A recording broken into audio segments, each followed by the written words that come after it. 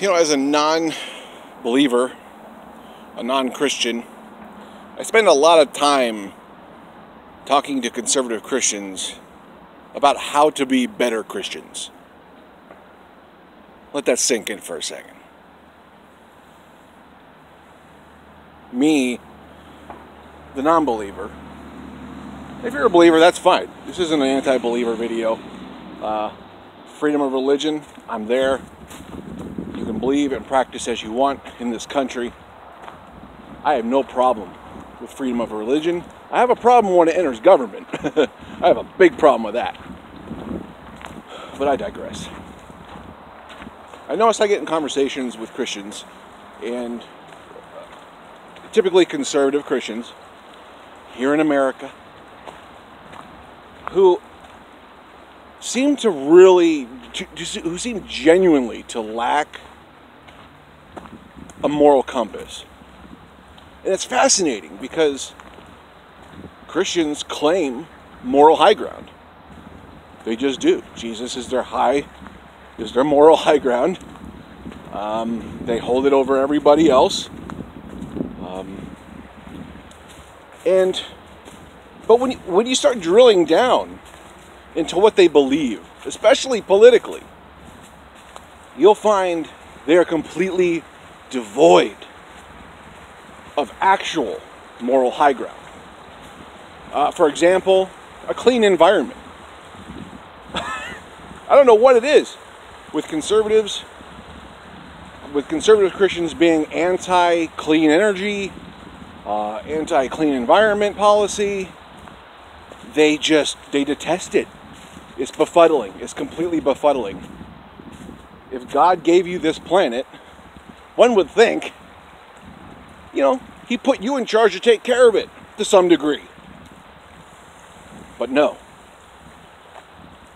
Another one is healthcare, um, Medicare for all. The concept of a universal healthcare system to most Christian conservatives is a non starter. Nope. Healthcare is not a human right to the Christian conservatives I know. Sort of goes against that whole model of, you know, Jesus being for the poor, for the sick, uh, the uninsured. Um, once again, the lack of moral high ground gets exposed. Another one, a living wage. I just had this conversation today with a guy, with a Christian conservative who is a business owner, who basically brags about not paying his employees a living wage, that he's chosen over them. He, he is the one who will profit from their labor. Like, would Jesus be for that sort of uh, model for a business? or that sort, just in general, for you to profit off the labor of others?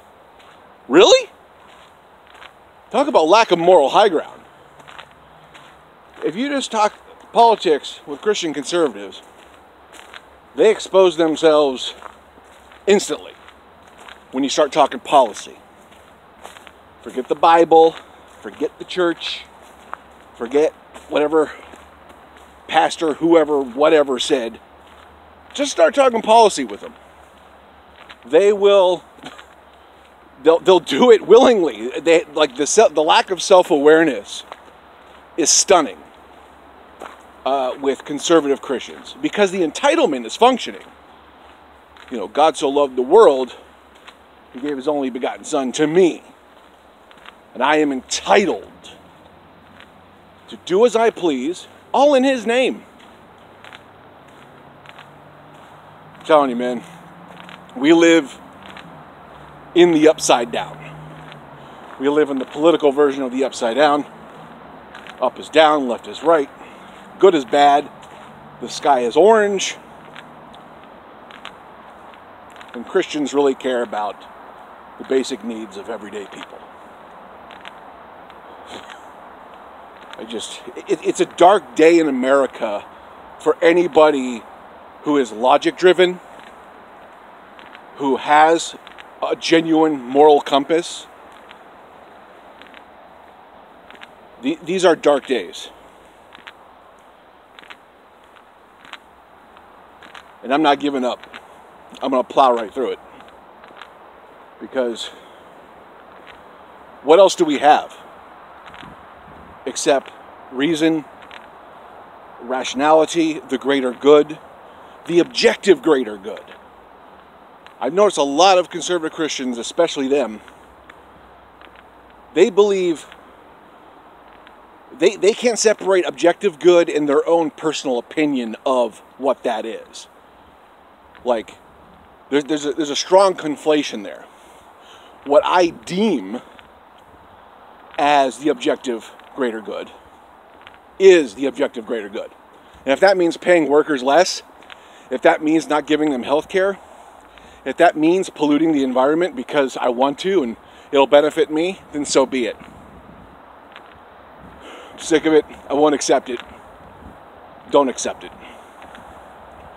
Anyways, let me know your thoughts down below. Like, share, subscribe, click the bell, and I'll meet you down in the comments.